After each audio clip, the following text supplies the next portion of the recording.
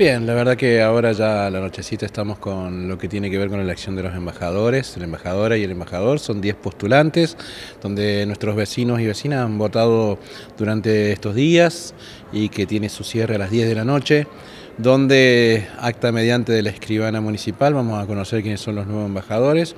Obviamente que es una jornada institucional, protocolar, protocolar perdón, que da comienzo a nuestra fiesta nacional de noche más larga, así que también tiene algunas actividades artísticas como la presencia del grupo Chatichiri que es de Río Grande, los mariachis Tequila de acá de la ciudad de Ushuaia y los talleres que tiene la municipalidad que van a estar participando también en esta jornada, que es la que va a dar comienzo ya para mañana arrancar con una grilla importante de actividades musicales hasta el día lunes.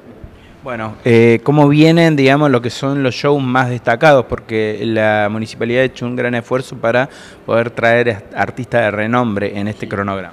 Bien, la verdad que ya todos los grupos eh, confirmados, ya las orquestas típicas de tango que van a participar el día de mañana ya han llegado a nuestra ciudad, así que armando todo para, para el día sábado la jornada de tango, lo mismo para la, actividad Salir de la Caverna de Darío Stanriver, que va en el Cochocho Varga a partir de las 20 y ya estamos eh, esperando la presencia de Valeria Lynch, que va a estar el día domingo en el Cochacho Varga a partir de las 22.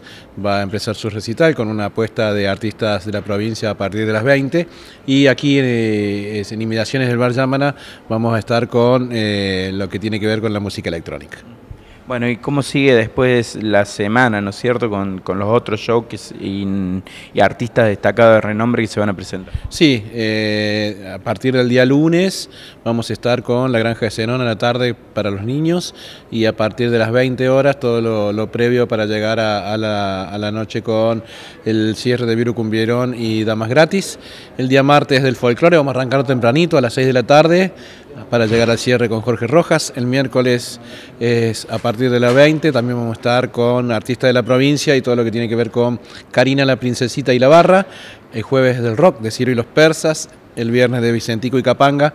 El día sábado volvemos al folclore también con una gran actividad, terminando con los tequis.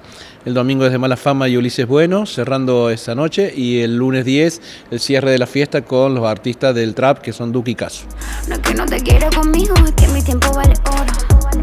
Tengo 80 carros, para el equipo pasar el resto.